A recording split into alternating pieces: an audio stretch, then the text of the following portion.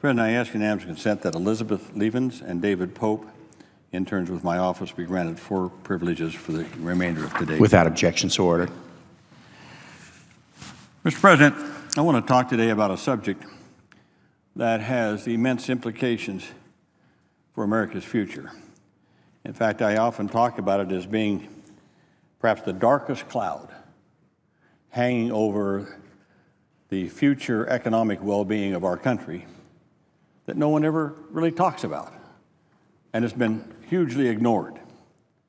And that's the issue of retirement income and what people are going to do when they retire in the future. I've been focused on this for several years. My help committee has, over the last two or three years, had 10 hearings on this issue. We have met with a lot of the investment community and retirement benefits community uh, to take a look at what's happening and to see whether or not we can have a, a better system for retirement than what we have. Uh, right now, uh, young people who are working to pay off a student loan debt, uh, maybe buy a new home, put a little money away for their own kids' education later on, or if it's people who are close to retirement. A nurse who's been working all her life, someone maybe worked in a small business, and they're 60 years old, and people are wondering what are they going to do when they retire? And they're worried they won't have enough money to live on. And quite frankly, they're very right to be worried. If you uh, looked at the future and you took the working force of America today and you said, what is it that this group of people in the future will need to live on when they retire? And what they have saved for retirement. There's a deficit. They don't have enough saved to retire on. How big is that deficit? Calculations in our hearing show it's about $6.6 trillion. That's a big chunk of change. That is a huge hole in the future. So when you look at what's happening, half of Americans, half of Americans have less than $10,000 in savings. As I talk and as, as, we, as we look at this, we have to remember that retirement has always been thought of as a three-legged stool. One leg is a pension, one leg is savings, and the other leg is Social Security. So what's happening now is that on the retirement pension system, the savings systems are falling down. Social Security is still strong, and I'll have more to say about that. But what we have to do is to look at how much people have in savings. Half of all Americans today working and that are working today have less than $10,000 in savings. Have less than $10,000 in savings. Now, uh, when I came to the Congress in the 70s, one out of every two workers had a pension. That means they had a pension that would pay them a monthly income until the day they died. And if they died, their spouse would get it. One out of every two. Today it's one in every five, and it's getting worse. Only one in five. It's fallen, by the way, this has fallen by 30% in just two decades. And again, 75 million people have no retirement plan at all. 75 million people, that, that's about half of the workforce in America, have no workplace retirement plan at all. Nothing. No 401ks, no IRAs, no defined uh, benefit uh, program, nothing. Half, one out of every two, have nothing whatsoever.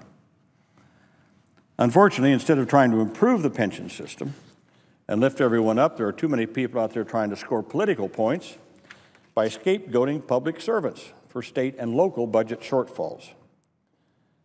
Pensions aren't the cause of states' fiscal problems, and retired public servants aren't living high on the hog on the taxpayer's dime. These are simply malicious myths being spread by people who I think have two objectives. One, to discredit public sector unions, and secondly, to dismantle the pension system. Pensions are one of the best ways to ensure that middle class people can have a secure retirement. Because they provide a guaranteed source of income that a person can count on for as long as he or she lives.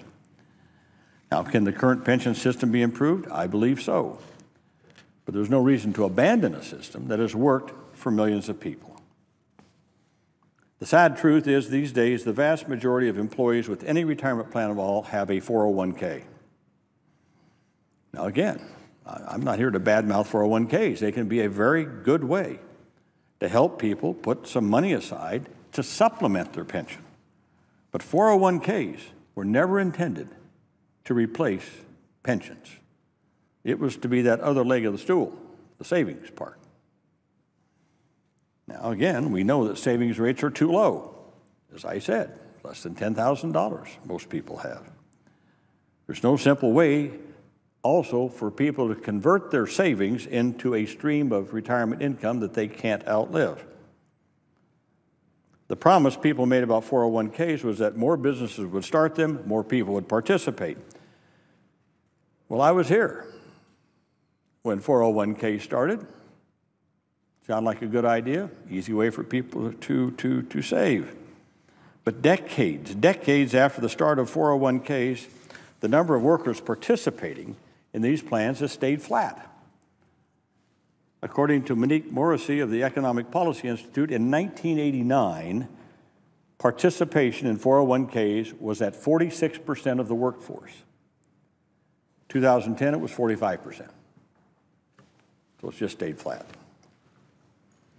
Now, we have seen some modest increases in savings the last few years. That's what people told me at our hearings. Well, we've seen some modest increases. I said, Really? Okay, let's take a look at it. Because this kind of surprised me that we had an uptick in savings. But then we looked at the data. and what does it show? It shows who's saving what. The top 10% income earners, the top 10% of income earners in America have 100 times more saved for retirement than the median household. So we charted it out. If you see back here in 1989, eh, they weren't too far apart. So here's the top 10%. The top 10% now have an average of $239,000 set aside for retirement. The median household, 2,500. So when you say savings have gone up, yeah, look who's saving, the top 10%. Those of us who work here. 239,000 as opposed to $2,500 for the average family. And I might just also add that buried in this, buried in this, this chart, is an unacceptable amount of racial and gender inequality in this system. The National Institute on Retirement Security recently found that black, Asian, and Latino workers have significantly less access to a retirement plan on the job than white Americans, in the, especially in the private sector. As a result, the vast majority of working age households headed by people of color have little or no retirement savings. For those with a retirement plan, the average account balances for black and Latino households are less than one fifth that of white households. So if I'm not mistaken, uh, one fifth of $2,500 would be about 500 bucks. So buried in this, keep in mind, unequal gender and racial inequality. Addressing the issue of retirement security, again, would be particularly beneficial to women. We all know about the income gap between men and women. But what a lot of people don't realize is the gap worsens after retirement. And when you think about it, you can understand that. Uh, the, in 2011, the median annual income of older women, that is over, over retirement age, keep this in mind, the median annual income was $14,225.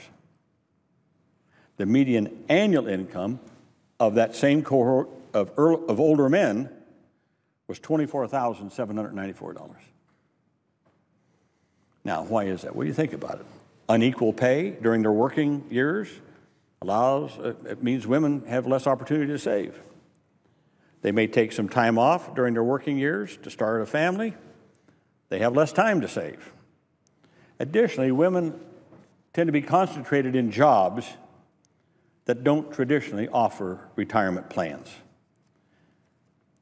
It's been said many times that women save more than men, save more money than men. Well, yeah, they have higher rates, but they're starting from a very low point. So women still lag behind men when it comes to total retirement savings.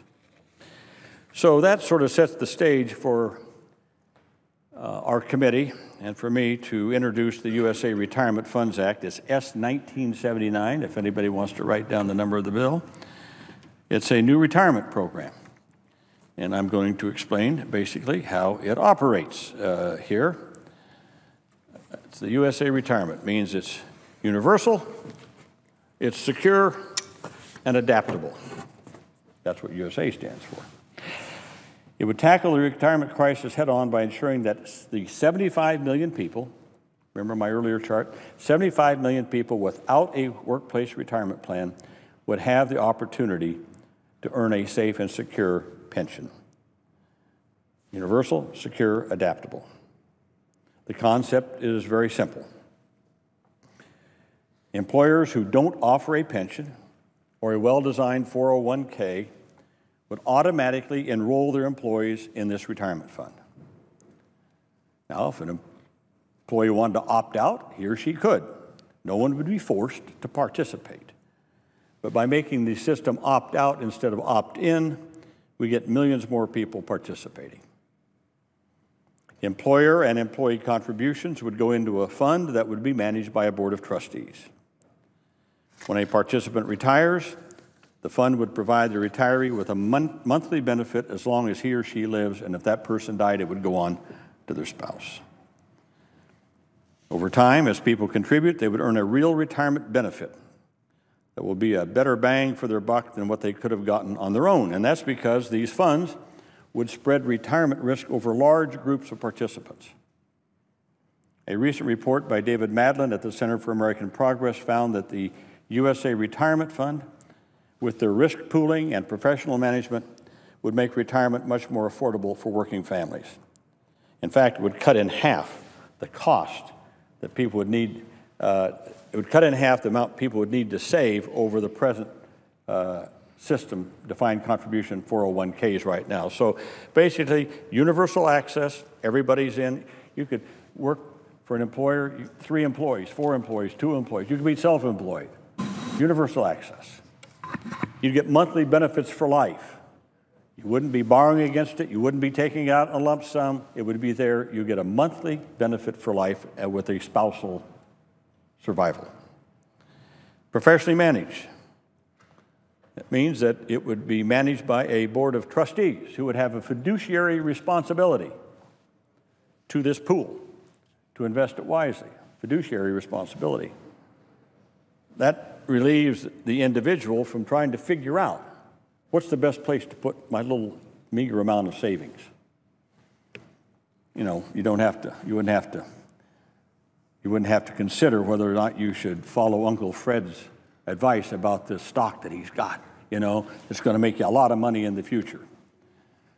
Or Mr. Ponzi. What was that Ponzi guy's name again? All you had to do is give him a lot of money and, or maybe Bernie Madoff in later years. No, you wouldn't have to worry about that. This would be a professional board that would have a fiduciary responsibility. And as I said, lower cost, uh, about 50%.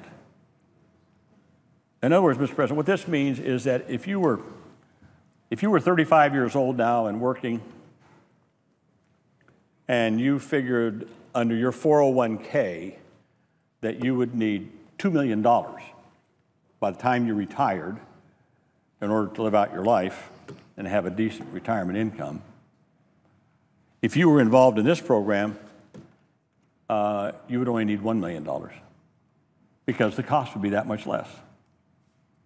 A big portion of that 2 million goes into fees during the life of that 401k. So that's the big savings here. USA Retirement, that's for the person. Now let's take a look what it means for the business, the uh, business community itself. Um, yeah, right here. Uh, This is the benefits to the business. It's easy to offer. You don't have to set up a plan. Small mom and pop business, if you're filling out FICA taxes anyway, you just have a separate line for this. Send it off, you have nothing else to do. Don't have to manage it. You have no risks. You have no fiduciary responsibility as an employer, none whatsoever. And you get quality benefits. Now, what this means is that a lot of employers want to make sure that their employees have a good retirement uh, benefit because as they get older, they earn more. You know, let's face it, you'd like to have people retire so you could bring younger people into the workforce. Well, if you've got people now that can't retire because they don't have enough money, they stay working.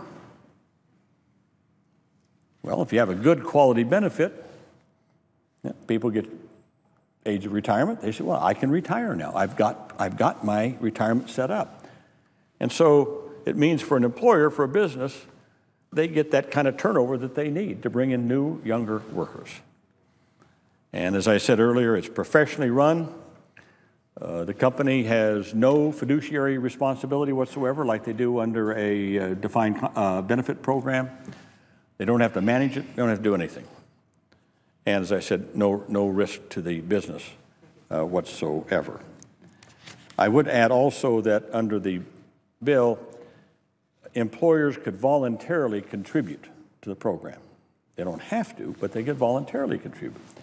So if, if you're signing up one of your workers at 6%, the employer could say, you know, I want to have a good workforce. I want to hire really good people, and I've got good people. I want to keep them. I tell you what, I'll kick in 2% or 3% or 2.5% or kick in whatever they want as a management tool, uh, maybe even as a recruitment tool to recruit really good workers. So again, it is a, it's a good recruitment and management tool for, for the businesses. And for the economy in general, for the economy in general, uh, I think this would be good for the economy. I think this is what a lot of people don't consider. By bringing more people into this retirement system, you're going to have more savings. And you're going to have savings that are long term type savings.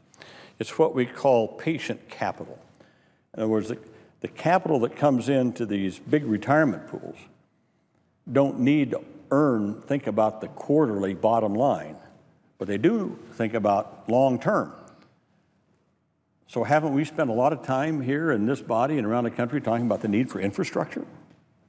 Long term projects for this country, energy systems, electrical systems, roads, bridges, sewer, all, those, all that kind of stuff. Plus, we need long term capital for the new entrepreneurs starting these new businesses that may take a long time for them to return some capital, but they need that access to that long term patient capital that something like this could provide for them.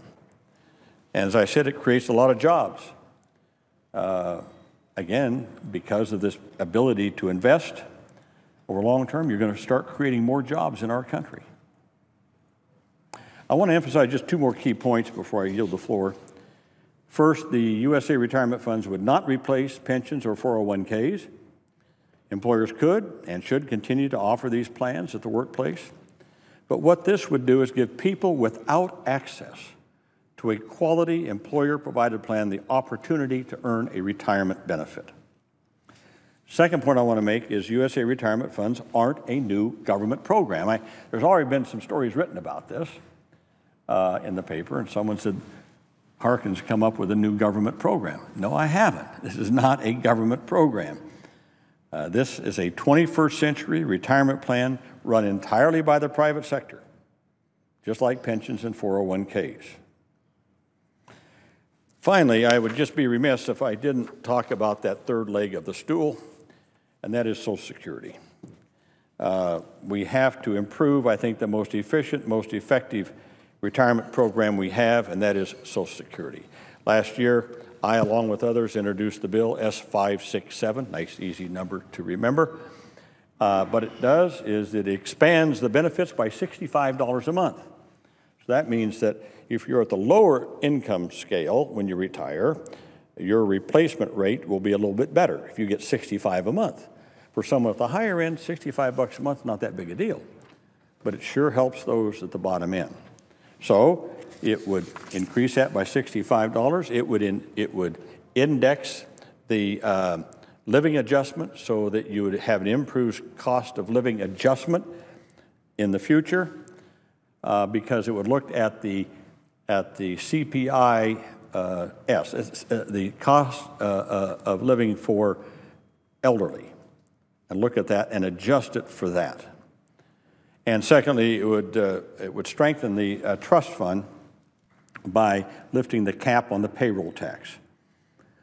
You do all that, you strengthen Social Security, you actually increase the benefit a little bit, and it extends the life to 2050.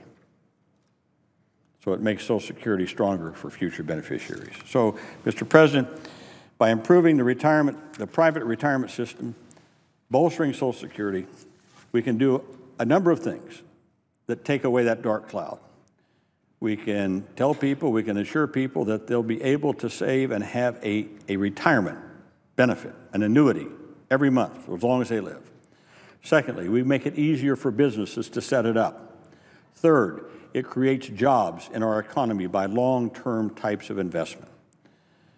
So I just say that during this time of economic insecurity, it's more important than ever that working people have the opportunity to prepare for retirement so I urge my colleagues to help rebuild the pension system in this country by supporting the USA Retirement Funds Act. Mr. President, with that, I yield the floor.